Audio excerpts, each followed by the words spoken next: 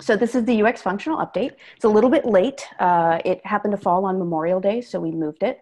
Um, so it's a little bit out of order, and you'll be seeing me probably uh, very, very soon because this one got moved so much further ahead. Um, but that's okay. Right? We can all hang out again pretty soon. So next slide, please.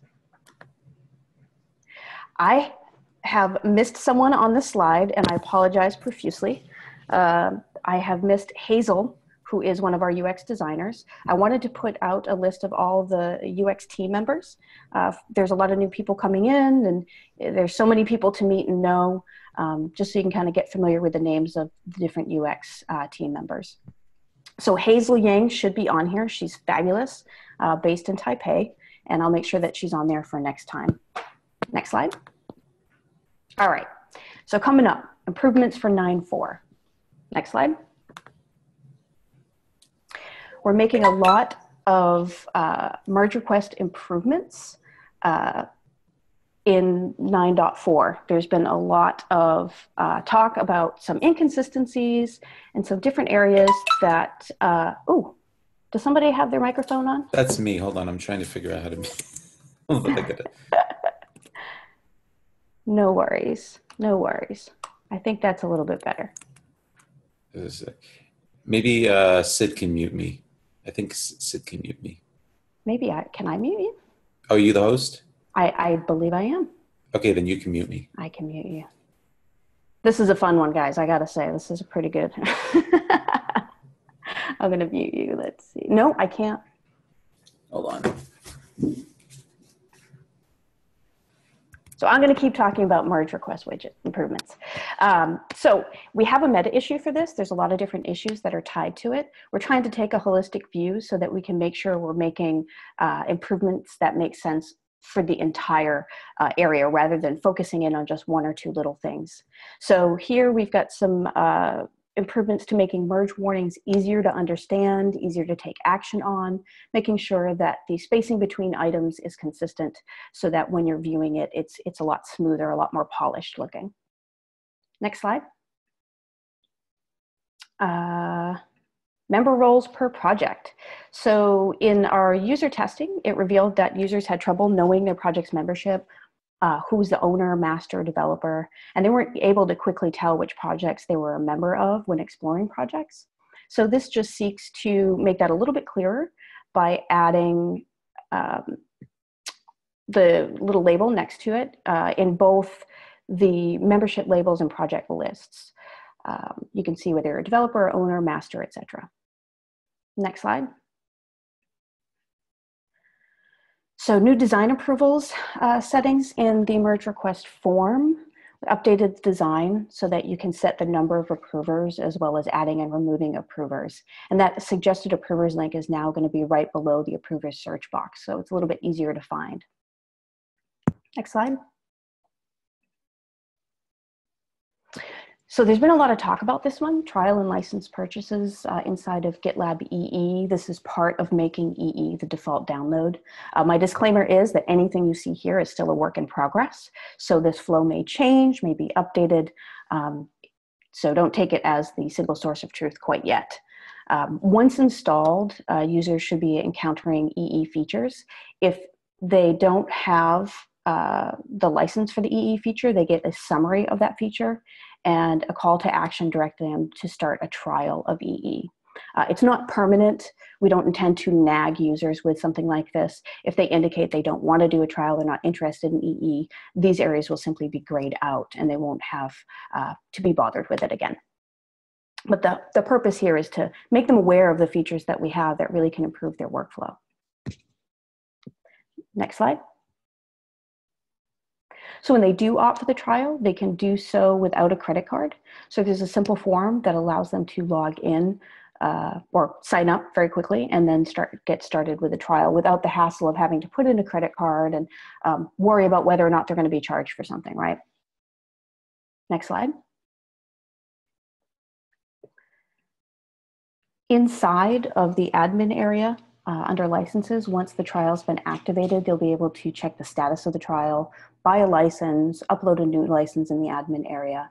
Um, again, this is all kind of a work in progress, so this may change, but in general, this is uh, the road we're going down uh, design-wise. Next slide. Milestones. So we currently have no native notion of group milestones. Instead, when we create a group milestone, we're really creating multiple project milestones. And this uh, design aids to, aims to make this uh, a lot easier of a process. One would be a milestones dash, that's up at the top. Uh, the screen simply adds a message explaining which milestones are being shown. Uh, group milestones, this page combines group milestones and milestones from all projects in the group.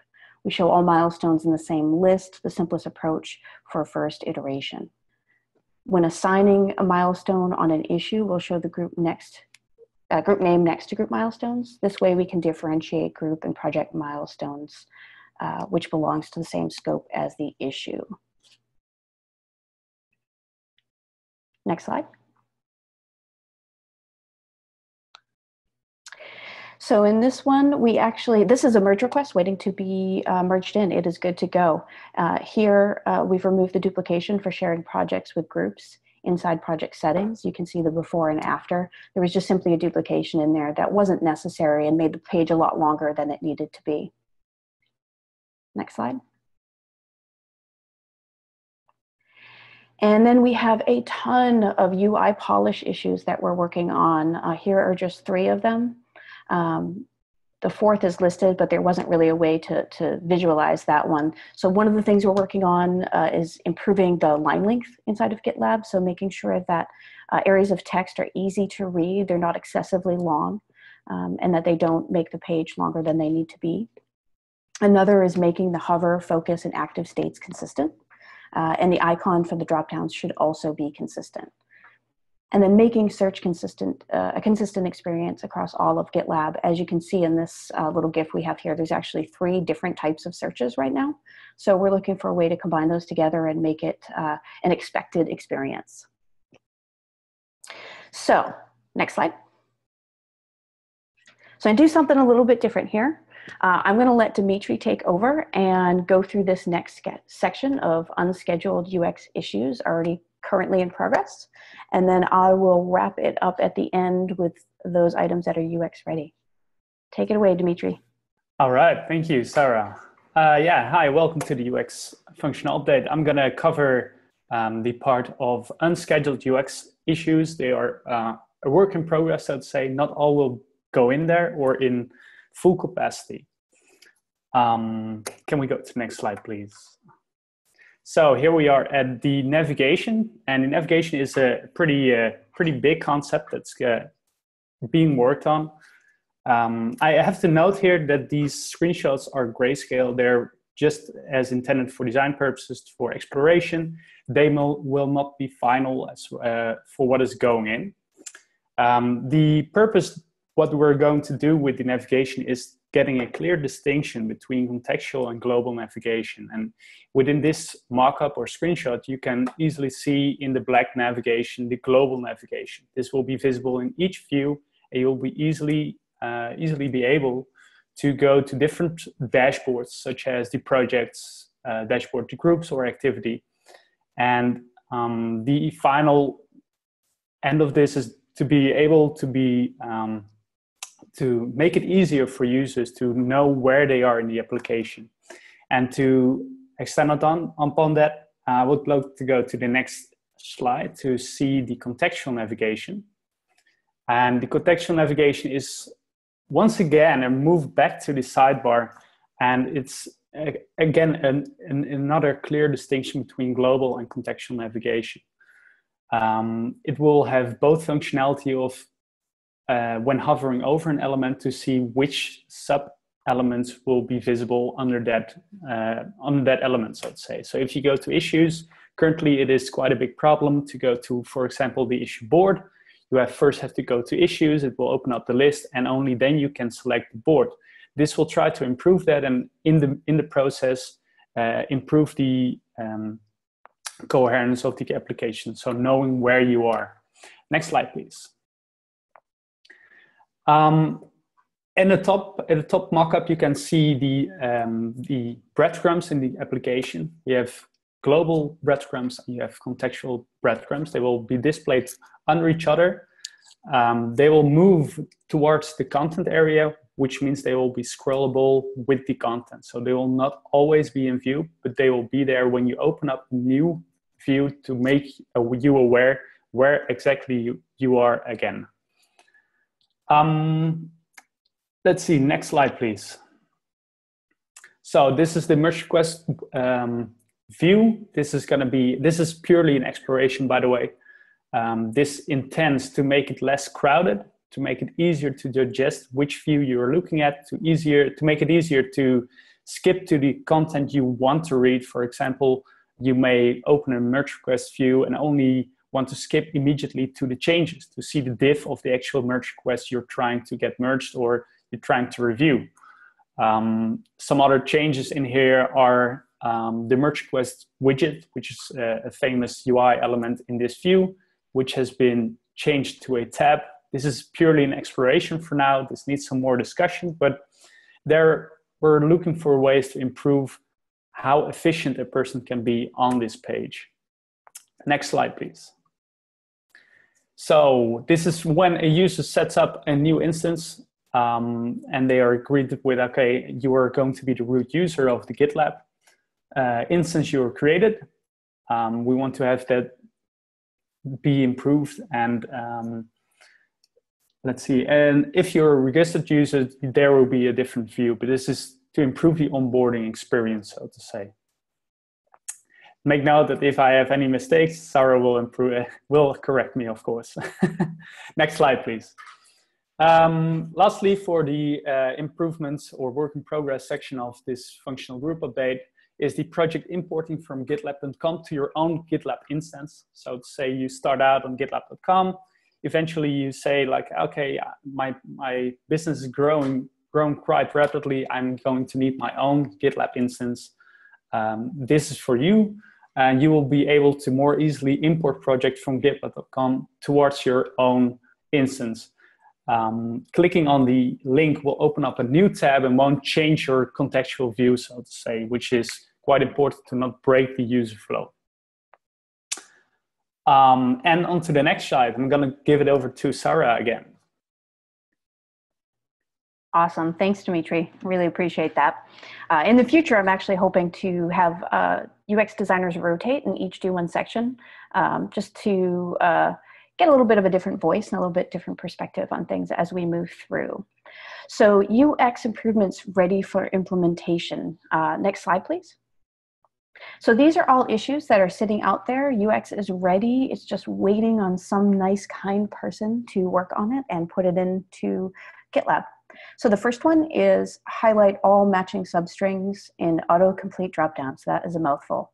Um, so right now, when you mention a user, the dropdown pops up to help you, but it only uh, highlights the user handles. It doesn't uh, also highlight their full names. So we want it to match uh, all the, it, highlight all the matches within those substrings, right? So that it's easier to quickly find the one that you're looking for. Next slide. So displaying time tracking totals on the milestones page. I want to show the aggregated values for the time spent, time estimated, time remaining. Uh, that way you can assess the milestones progress based on the open closed issues and time tracking is possible by looking at the issue counts, progress bar, and time tracking stats. Next slide. Confirmation dialogues. So this uh, are actually two related issues uh, to improve our confirmation dialogues.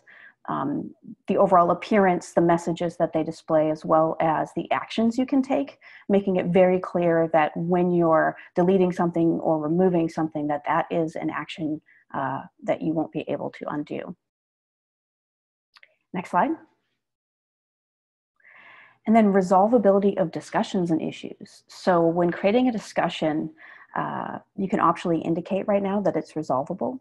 When you resolve the discussion, you truly resolve the entire thing. There's not a concept within this of individual comment resolvability. Um, it applies to issues, merge requests, non-diff commits, snippets. Uh, if a single root comment has no replies, it'll still show the reply panel so a user can easily, rep- easily reply, jump in, uh, etc. So now I'm going to open it up to questions. Next slide. Let me take a look at the chat.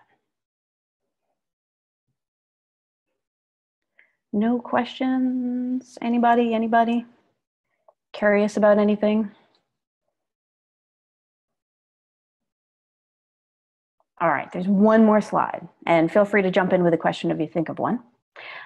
I want to give some shout outs. I saw that Lee did this and I was jealous. So I went ahead and put together my own shout out slide.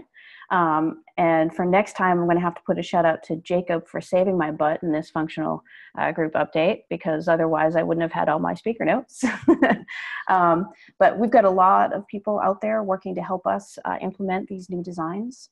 So just some people that we've recognized lately have been doing a lot of great work uh, helping us. Annabelle, uh, improving table issues. Uh, M. Greiling, I'm going to say Mike because I don't know everyone's name right now um, started working on improving our settings. And Filipa went through all the UI polish to make sure that we had uh, everything in there that we needed to get those out in the next release, which was a huge effort. Um, and the product team, I don't know how much shout out they usually get, but I want to say a huge thank you. Uh, they've been fabulous about getting together with us to talk about how we can work better as a team to get uh, get things moving faster for UX so we can get a little bit ahead. Um, and Filipa says it was a team effort. Shout out for Tim and Clement. Yes, absolutely. Um, I will make sure that we, uh, we highlight them next time. So if there's no questions, I'm going to say that this is it. I promise next time I'll be uh, ready with an extra screen, so I'll have my speaker notes. Um, and I just want to say thanks to everybody for attending. Have a great Friday. Bye bye.